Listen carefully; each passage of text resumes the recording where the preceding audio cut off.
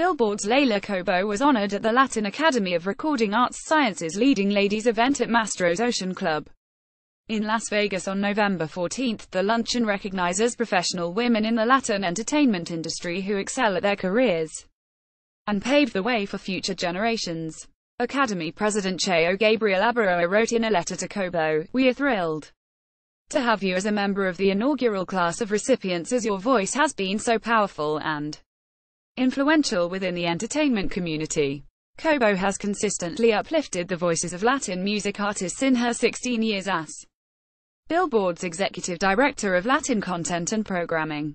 Abaroa wrote that her work has helped bring Latin music to the forefront of the entertainment industry and given new and up-and-coming artists a voice in main conversations. When asked about her proudest reporting moments at Billboard, she said, I was really, really proud of our conference this year and the QA sessions with both Residente and with Nicky Jam and J Balvin.